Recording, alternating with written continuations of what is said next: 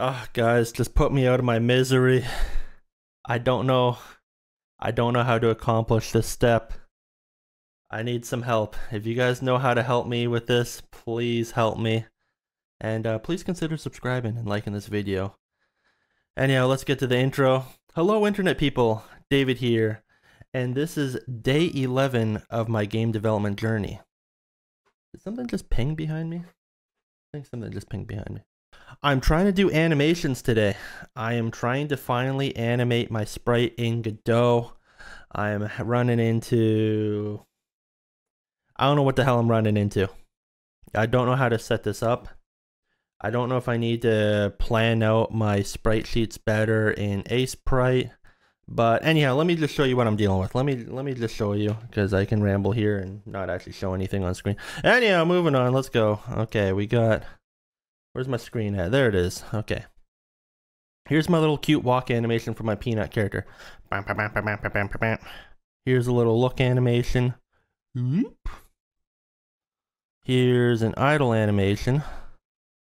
I don't know if I'm going to use this. I think I'm just going to use my walk animation because I don't like how on this frame it drops down and removes this. If I'm making different armor sets, that means I'd have to also draw the same thing out for my 2D character here. Got a little thumbs up. But on the Godot side, I've split things out between the main body, as you can see here. It's moving, is it moving? Yeah, okay, it's moving up and down.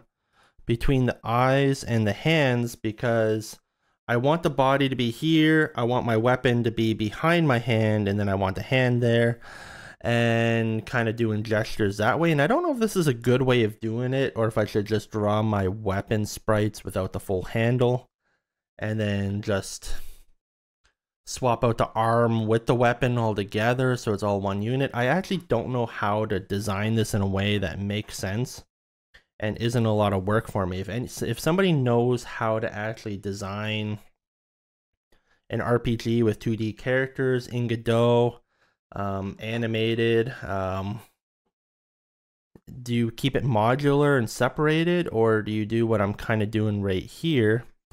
Um, but here's kind of the problem run into. I got my different sprite sheets.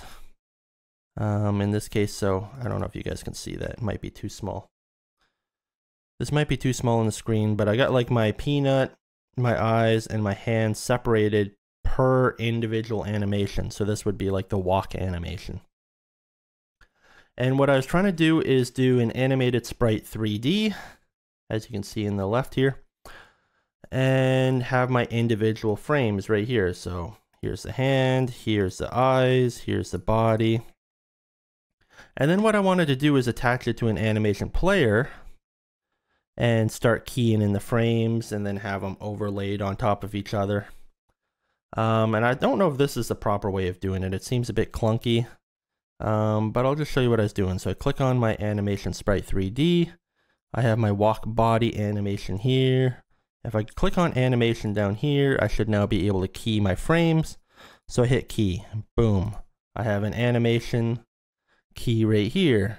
Frame zero, boom, peanut, Move this to the next frame. Boom, frame. The only problem with this is I think by having the animation player attached this way and having three separate distinct animations, I think as soon as I key this in, the animation here changes. And I think this name has to correspond up here. So I think I need, um, you kind of get what I'm saying? Throat's getting really phlegmy. I just came back from a CT scan. My appendix feels like it's about to blow up. So I don't know. I think I'm allergic to whatever dye they just threw in my body. And yeah, that's beside the point. Let's talk about something else. Um, I think because this name right here says animation and this keyframe is animation, there's really no way of distinguishing between the three. So as soon as I do hands, now I have a hand pop up. Do I have to do three separate animation sprite 3Ds? And then throw it into my animation player?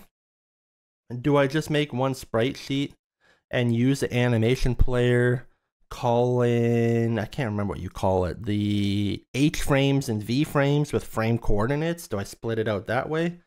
To me, logically, it seems a lot easier to organize things in the animated sprite 3D using sprite frames and then having your individual animations. Um, that seems a lot easier for me, especially if I want to make a change later on on the Aseprite side where I'm dropping out a sprite sheet. Here's a better lookup of the sprite sheet. I can do it per animation instead of having this big massive, sorry, I'm trying to figure out where my hands are. This big massive sprite sheet with all my different animations. It's kind of confusing. I have to keep track of that. Um, where to me, it's nicer to just break it out per animation. Kind of like my walk, look, idle, thumb. I don't know. Let me know how you do your animations. I'm very curious. I could really use your help. Um, and I could use a lot of people's help going forward because um, I think I kind of know what I want to accomplish. I got the vision for it. I just don't know what is necessarily the best way of doing it, and I could use some mentorship from anyone in the comments. So leave a comment down below. I'm David. Um, this was my day 11 update. Um, yeah, I think I said um a lot. I'm gonna try and cut some of these ums out just so you guys don't have to listen to me think too long. But yeah, love and peace. Peace and love. I'm David. I'll see you in another video. Peace out. Yeah, was that a good video? I think that's a good video. Why are you still watching this video? Go watch another video. What are you doing? Help me.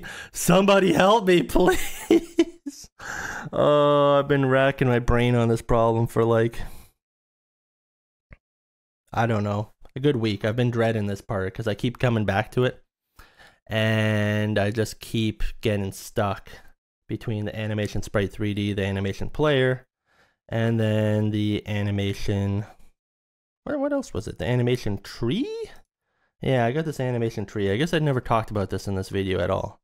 I think this I understand. The state machine stuff I understand. It's just what to do with these guys. Yeah, this video is supposed to end like a minute ago. Why are you still watching? What are you doing?